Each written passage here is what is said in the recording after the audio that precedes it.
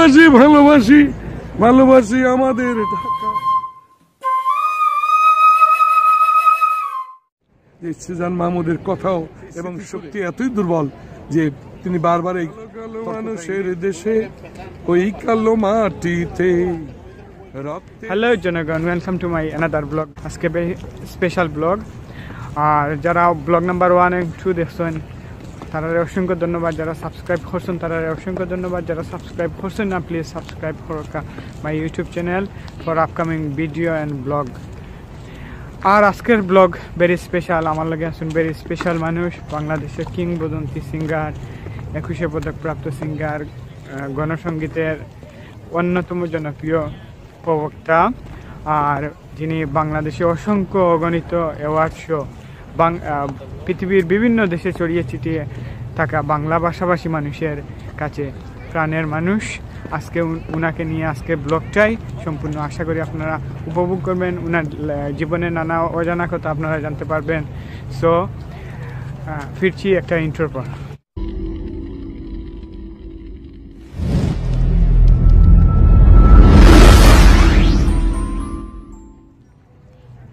Welcome welcome welcome আসলে আপনারা জানতে চান কে সেই ব্যক্তি? অনেকে ইন্টু শুনেই কিন্তু বুঝে ফেলেছেন সেই বিখ্যাত কিংবদন্তি সিঙ্গারটা। আর কেউ নয়, আমার, আপনার সকলের প্রিয় মানুষ সঙ্গীতের, যাকে স্তব্ধ বলা যায়, বাংলাদেশের অন্যতম মুক্তিযোদ্ধা আছেন আমাদের ফকির আলমগীর স্যার।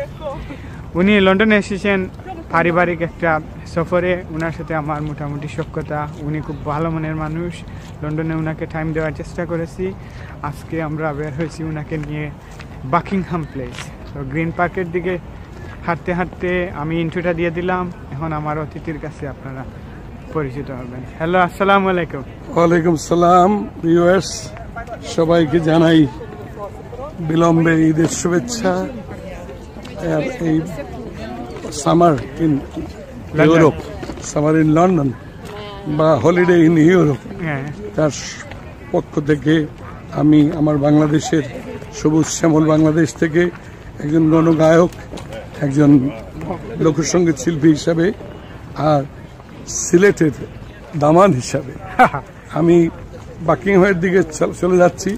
উনিশশো একাশি সালে আমি সিলেটের মৌলভীবাজারে বিয়ে করি। উনিশশো আটাত্তর সাল।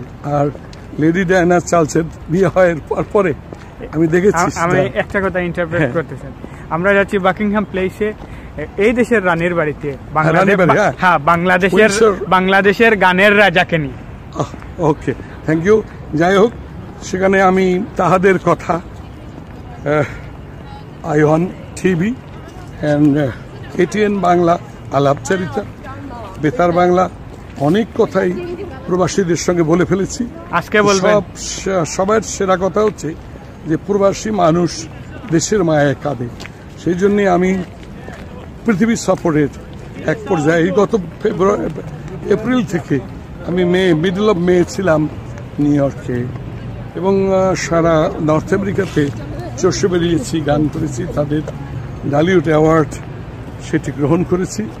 আর আজকে এই দশ তারিখে আই থিঙ্ক দশই অগস্ট শোকের মাসে আমি এসেছি লন্ডনে।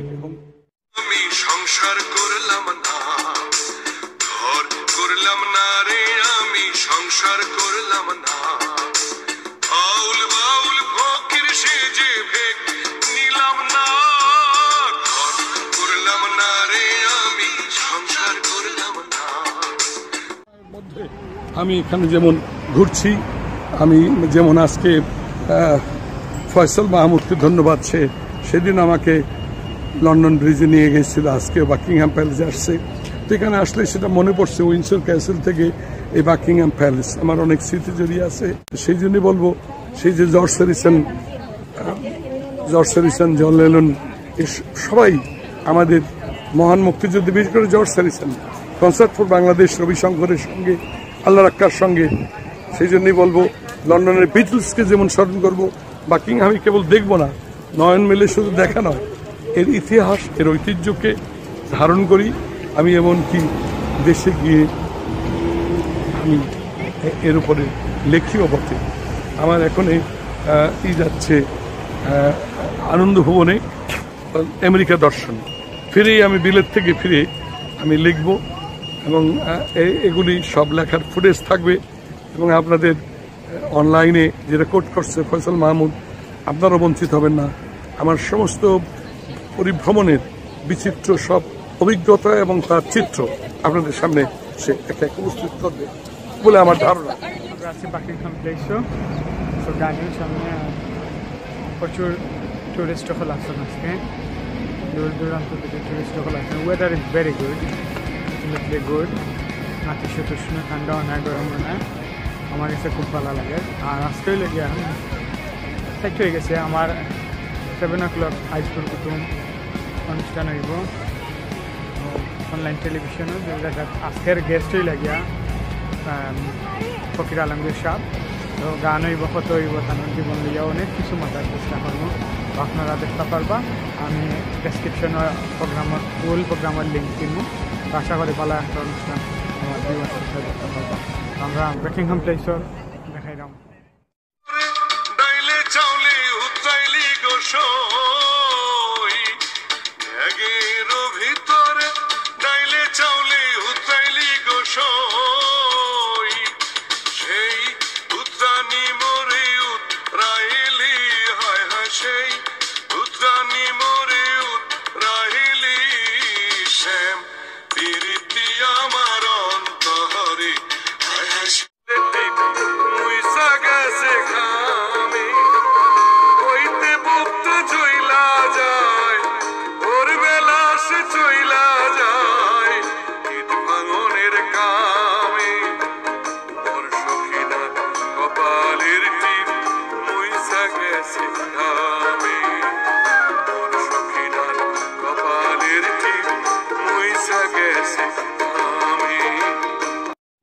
আজকের ওয়েদারটা কিন্তু অনেক ভালো। বেশি গরম না বেশি ঠান্ডাও না।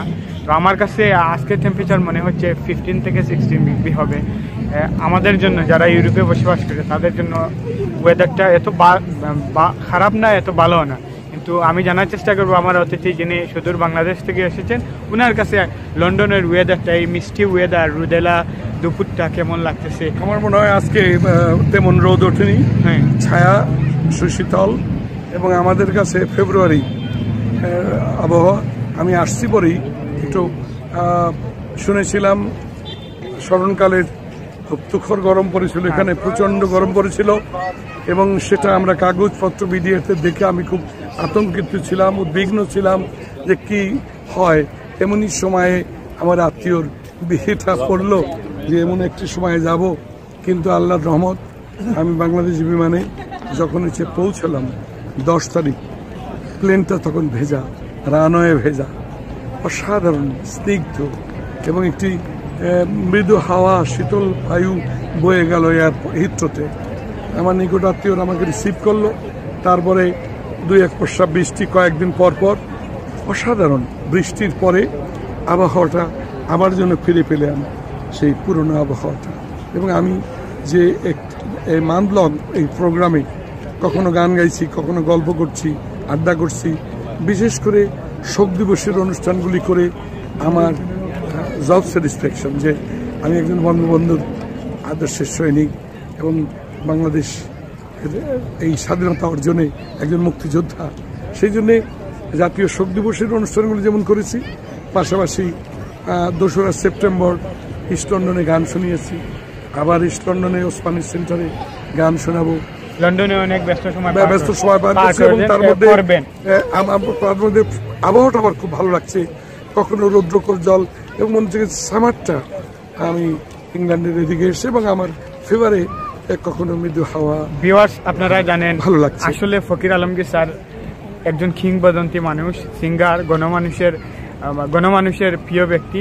উনি যেখানে যান না কেন মানুষের ভিড় লেগে থাকে। সবচেয়ে ভালো একটা গুণ হলো উনার। উনাকে নিয়ে ওই যে বাংলা ভাষাভাষী মানুষের যে উচ্ছ্বাস, আকাঙ্ক্ষা, সেটা কোনোভাবেই কমতি নেই। ওনার একটা ভালো গুণ হচ্ছে, উনি সহজে মানুষের সাথে মিশতে পারেন। আমি একটা জিনিস স্যারকে জিজ্ঞেস করব, এখন যারা বঙ্গ এখন যারা নতুন প্রজন্ম আছে, তাদের কাছে বাংলাদেশের মুক্তিযুদ্ধের ইতিহাসটা এবং মুক্তিযুদ্ধের সময় উনার ভূমিকা ছিল একটু যদি সংক্ষেপে আমাদের ভিউয়ার্সদের বলতে আমি কথা প্রসঙ্গে সেইগুলি বলেছি। মানুষের, আমার যে, আমার বাঙালি বলে আমি গর্ব করি। একজন মুক্তিযোদ্ধা হিসেবে গর্ব করি। ভাওয়ান বাওয়ান্নের ভাষা আন্দোলন, ষাটের দশকের আন্দোলন হিসেবে মহান গণভ্যুত্থান এবং অবশেষে মহান মুক্তিযুদ্ধ। যেখানে অবশ্যই বঙ্গবন্ধু সে সাতই মার্চের ভাষণ, যা শুনে আমরা একুশ বছরে, তখন কেউ বাইশ বছরের থেকে ঊর্ধ্ব এবং আরও কম বয়সের অনেকে তখন যুদ্ধে ঝাঁপিয়ে পড়েছিল। এখানে রাজপথে দুরন্ত মিছিলে ছুটে আসে কেউ। রেসকোর্স ময়দানে বজ্রকণ্ঠ আসে। বঙ্গবন্ধু যেন কবিতার ঢেউ। কবিতা পাঠ করেছিলেন এবং সেই বাউন্নের সে ভাষা আন্দোলনের শহরটিতে। সেখানে কত বীরত্ব গাথা রচিত হয়েছে ঢাকাকে নিয়ে, তাই তো আমি গেয়ে থাকি।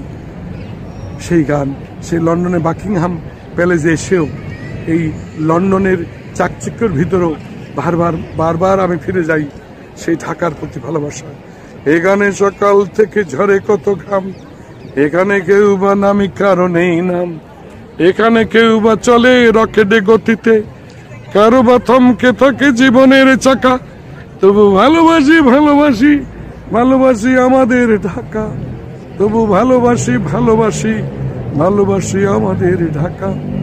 এখানে কখনো আসে আর জমগোল দস্যুবা রোহিত বা দিয়েছে গোল। এখানে শান্ত ভরে অমর একুশ ধর্ম বিভেদকারী ফিরে পায় হুশ। মৃত্যুর দরজায় আসে স্বপ্ন। দিনের শেষে দেখি স্বপ্নটা ফাঁকা। তবু ভালোবাসি ভালোবাসি ভালোবাসি আমাদের ঢাকা। তবু ভালোবাসি ভালোবাসি ভালোবাসি আমাদের ঢাকা। এখানে রাজপথে দুরন্ত মুছিলে ছুটে আসে কেউ। রেসকোর্স ময়দানে বজ্রকণ্ঠ ভাসে বঙ্গবন্ধু যেন কবিতার ঢেউ। এবারের সংগ্রাম, স্বাধীনতার সংগ্রাম। এবারের সংগ্রাম, মুক্তির সংগ্রাম। ধুলিকানা ঝরা পাতা দিয়াল লিখনে, রক্তের আল্পনায় আঁকা। তবু ভালোবাসি ভালোবাসি ভালোবাসি আমাদের ঢাকা। তবু ভালোবাসি ভালোবাসি ভালোবাসি আমাদের ঢাকা। এই ঢাকা আমাদের বীরত্বের কথা, গৌরবের কথা জানান দিয়েছিল বঙ্গবন্ধুর সাতই মার্চের ভাষণের মধ্য দিয়ে। তিনি স্বাধীনতার ঘোষণাই করেছিলেন সেদিন পক্ষান্তরে। কি ছিল না সেই ভাষণে? সেই বিশ্লেষণ পরবর্তী পর্যায়ে শোনা যাবে। কিন্তু গানটির যে কয়টি লাইন আপনাদের সামনে উচ্চারণ করলাম, এর থেকে আপনারা বুঝতে পারেন যে সিজান মাহমুদের কথাও এবং সুরে, যদিও তিনি অনেক সময় এই গানটি লিখেছেন এবং সুর করেছেন, তিনি অনেক সময় বলে থাকেন যে নেলসন ম্যান্ডেলা গানটি তিনি মানে লিখেছেন এবং সুর করেছেন। আমি বলি করি, তিনি লিখেছেন, সুর করেছে আমি সেই জাহাঙ্গীরনগর বিশ্ববিদ্যালয়ের উন্মুক্ত মঞ্চে। যে কথা বারবার করি, বলি, তিনি মানে সেই স্মৃতিশক্তি এতই দুর্বল যে তিনি বারবার এই তর্কটা এনে সেই অবসরণীয় গান, যে গানটির সুর শুনলেই, রিদেম শুনলেই মনে হয় এটি ফকির আলমগীরের রক্তে রক্তে তিরিশটি বছরের অধিক কাল এই গান দেশে, বাঙালি তাবৎ দুনিয়ার মানুষের কাছে আমি জনপ্রিয় করেছি। এই গৌরব, এই কৃতিত্বের জন্যে সিজান মাহমুদেরই অভিনন্দন জানানো উচিত। তারও কৃতজ্ঞতা পাশে আবদ্ধ হওয়া উচিত।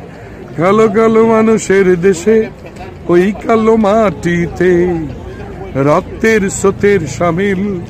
নেলসন ম্যান্ডেলা তুমি, অমর কবিতার অন্তমিল। শুভ হোক তোমার জন্মদিন শুভ হোক তোমার জন্মদিন। এবং বিবিসি রেডিও বুশ হাউসে হলবর্নে হলবর্নে নামার পরে যে বুশ হাউস এখন নেই সেখানে আমার স্পেশাল সাক্ষাৎকার গ্রহণ করেছিল। সেই মানসী বড়ুয়া সেই পঙ্কজ সাহা সেই শফিক রহমান সেই সিরাজুর রহমান অনেকের কথা। তখন আমার মনে পড়ে কাজে যাওয়ার আর আমাকে তার পরবর্তী পর্যায়ে যখন নেলসন ম্যান্ডেলা নির্বাচনে জয়যুক্ত হন, তখনও আমি মনে হয় চুরানব্বই সময় আমি লন্ডন সফর করি। তখন টিভি এশিয়া আলাদা করে আমার এই গানটিকে ধারণ করেছিল, যার যন্ত্রণার সঙ্গে ছিল সব বিদেশিরা এবং দস্তগীত, মিস্টার দস্তগীর মিডিয়া ব্যক্তিত্ব এটি উপস্থাপনা করেছিল। যাই হোক, এই কথাটা এই জন্যই বললাম যে আমি একমাত্র শিল্পী এই পঞ্চাশটি বছর গান করছি। আমি যতটুকু পারি যে যে কখনো অলি আলম ডাবলু, কখনো আবু আল সাইদ, কখনো নুরজামান শেখ, কখনো মনিরুজ্জামান মনির, কখনো আহমদ সবা, কখনো রুদ্র মোহাম্মদ শহীদুল্লাহ, তসলিমা নাসরিন, সিজান মাহমুদ। আমার গানের গীতিকার আলতাব আলী হাসু সকিনা গেছস কিনা ভুল্লায় আমারে। আমি রিস্কা চালাই আমি এখন রিস্কা চালাই ঢাকা শহরে। ও আমি এখন উবার চালাই লন্ডন শহরে। ও সখিনা, গেছস কিনা বললায় আমারে।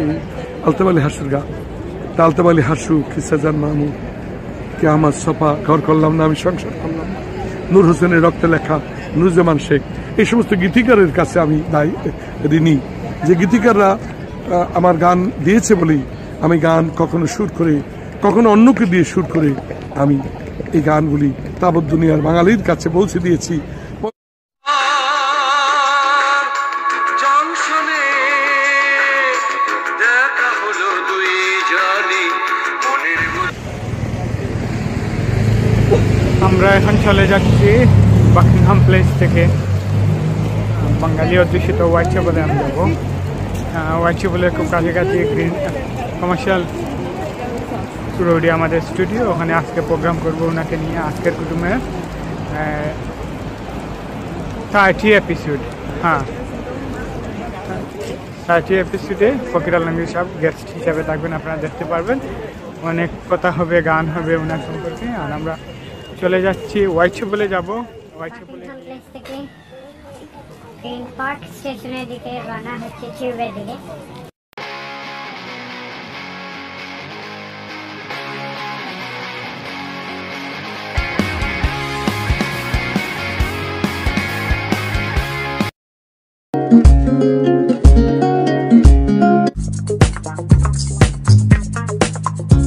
যেখান থেকে দেখছেন আমাদের আজকের অনুষ্ঠান, আজকের কুটুম সিলেটের টিভি নিয়মিত অনুষ্ঠান, আমি ফসল মাহমুদ সবাইকে স্বাগত জানাচ্ছি।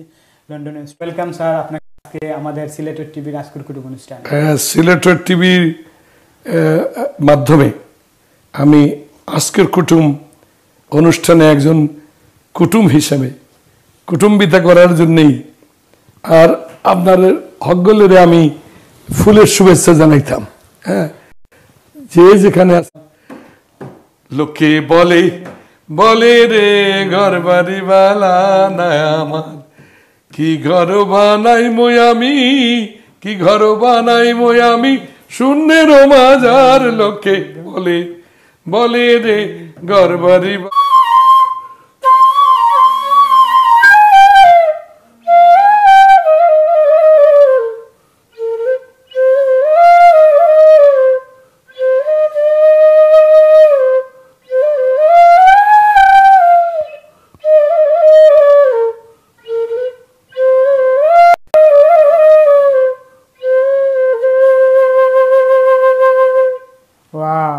কি চমৎকার বাঁশির সুর। আসলে একজন বংশীবাদক শুধু সুরই তুলেন না গানের জ্বর তুলেন যেটা স্যার বলছিলেন যে উনি বংশীবাদক ছিলেন বংশীবাদক থেকে গানের মানুষ হয়েছেন। এটা কীভাবে শুরু হলো? আপনার বাড়ি ফরিদপুর সিলেটে বিয়ে কীভাবে সম্ভব? ওই যে বলেছিলাম। প্রিয় দর্শক আপনারা জানেন আমার প্রোগ্রাম শেষ করলাম। আজকের কুটুম শেষ করিয়ে আমরা আইছি আহ, তো ফকির আলমগীর দাদারা লিয়ে আইছি একটা প্রোগ্রামও তাই গান গাইবা। তো এটা ইনস্ট্যান্ট আমার এখন বড় ভাই মুরাদ ভাই তাই আমার ফোন করছিলাম তো আমি ম্যানেজ করে দিছি, একটু পরে কিন্তু তার পারফরমেন্স শুরু হইব। তো আপনারা পারফরমেন্স দেখবা।